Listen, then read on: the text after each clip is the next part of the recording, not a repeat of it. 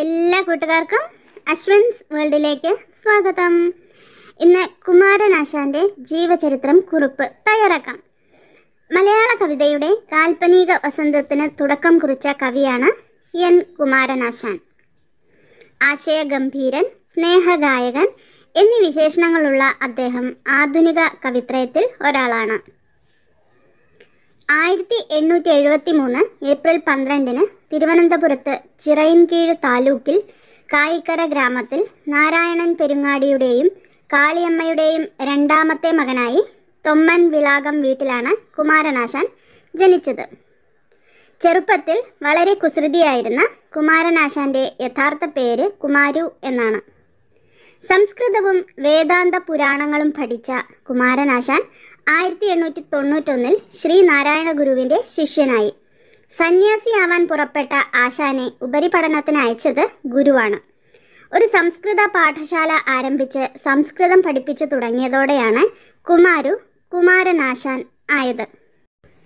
Doctor Palpu Sreenarayana ഗുരു എന്നിവരുടെ നേതൃത്വത്തിൽ Sreenarayana Dharma Paripalana Yogam S N D P രൂപീകരിച്ചപ്പോൾ ആയിരത്തി തൊള്ളായിരത്തി മൂന്നിൽ ജൂൺ നാലിന് ആശാൻ അതിന്റെ പ്രഥമ സെക്രട്ടറിയായി. ആയിരത്തി തൊള്ളായിരത്തി നാല് മെയ്യിൽ വിവേകോദയം മാസിക തുടങ്ങിയപ്പോൾ ആശാൻ അതിന്റെ പത്രാധിപരുമായി സാമൂഹിക ഉച്ചനീചത്വങ്ങൾക്കെതിരെ തൂലിക പടവാളാക്കിയ കുമാരനാശാൻ ഖണ്ഡകാവ്യങ്ങൾ മാത്രമെഴുതി മഹാകവി പട്ടം കരസ്ഥമാക്കി. ആയിരത്തി തൊള്ളായിരത്തി ഏഴിൽ അദ്ദേഹം എഴുതിയ വീണപൂവ് മലയാളത്തിലെ ലക്ഷണമൊത്ത ആദ്യത്തെ ഖണ്ഡകാവ്യമാണ്. ഈ കൃതി മലയാള സാഹിത്യത്തിൽ കാൽപ്പനിക പ്രസ്ഥാനത്തിന് തുടക്കം കുറിച്ചു. കവി എന്ന നിലയിൽ മദ്രാസ് സർവകലാശാലയുടെ കീർത്തിമുദ്ര ലഭിച്ച വ്യക്തിയാണ് കുമാരനാശാൻ. കൂടാതെ ആയിരത്തി തൊള്ളായിരത്തി ഇരുപത്തിരണ്ടിൽ കേരളത്തിലെ മഹാകവി എന്ന നിലയിൽ അദ്ദേഹം ഇംഗ്ലണ്ടിലെ വെയിൽസ് രാജകുമാരനിൽ നിന്ന് പട്ടും വളയും സമ്മാനമായി സ്വീകരിച്ചു.